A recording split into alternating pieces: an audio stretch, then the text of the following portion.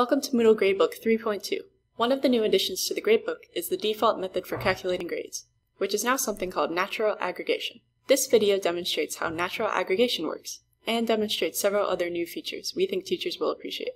It assumes you already have a basic familiarity with Gradebook.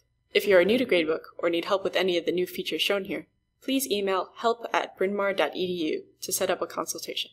Notice that the aggregation setting for this category is set to natural, which is now the default grade calculation method, and replaces the old sum of grades calculation method. Natural aggregation allows you to indicate how much each item in a particular category contributes to the total grade for that category, and Moodle automatically adjusts for those weights when calculating the overall grade.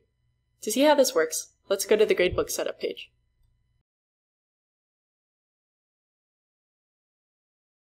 Notice that there is a weights column and a max grade column. The numbers in the weights column represent percentages of the course grade. The max grade is the total points possible for that item, which you set when you are setting up the activity. For example, in the reading response category, we have two items, one with a maximum possible grade of 10 points, and the other with a maximum grade of 30 points. By default, with natural aggregation, Moodle will automatically weight the items in the category according to the number of points each contributes to the category total.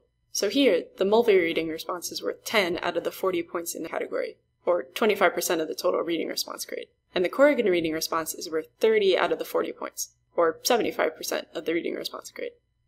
A student who earned 9 out of 10, or 90% on the first response assignment, and 20 out of 30 on the second response, or 67.7%, would in this case earn a 29 out of 40, or a 72.5%, since the grade for the second response is weighted more heavily.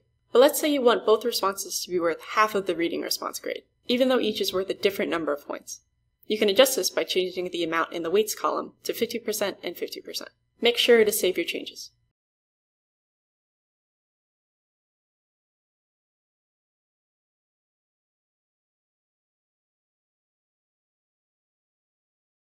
Now, Moodle will calculate the grade that the student earns on each response assignment, and then weight them equally when calculating the overall grade for the category.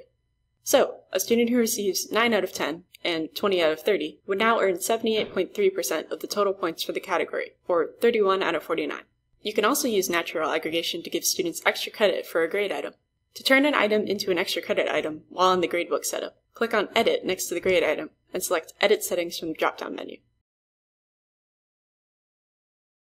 On the Edit Settings page for the grade item, check the Extra Credit checkbox, and then save your changes. For an example of how this all works with actual grades, let's go to the Grader Report, which allows you to view and edit the grades your students receive from completing the various course activities.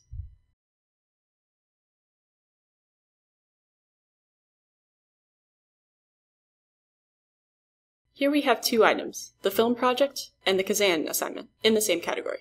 The maximum grade for the film project is 100 points. We've set up the Kazan assignment as an extra credit item worth a maximum of 20 points.